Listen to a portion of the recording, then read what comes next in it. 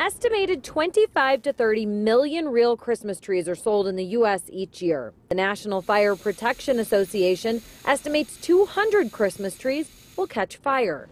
I suited up with the team from West County EMS and Fire to see just how quickly a tree and your holidays can go up in flames.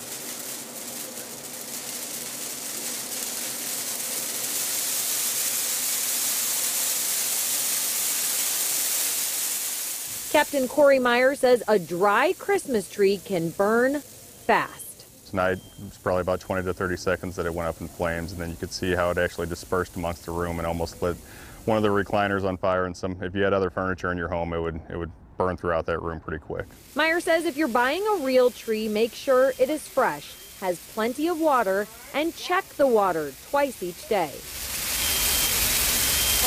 Limit the number of lights you string together and make sure the lights you use are UL rated. Don't use lights with broken cords or loose bulbs. Plug your lights into a wall.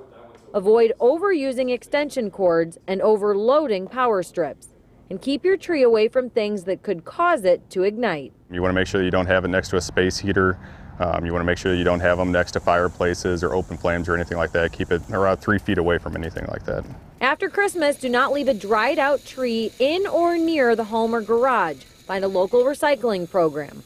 Should a fire start near your Christmas tree, Meyer says don't try to put it out yourself. Get your family out of the house immediately. Have two ways out of your house. Make sure you have working smoke detectors. When you get out, get to your safe place, um, call 911.